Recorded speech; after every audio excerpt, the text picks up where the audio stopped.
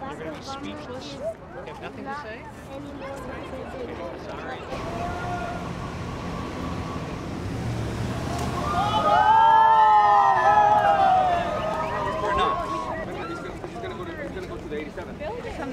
Well, I my job canceled today, and this is me and my wife's business.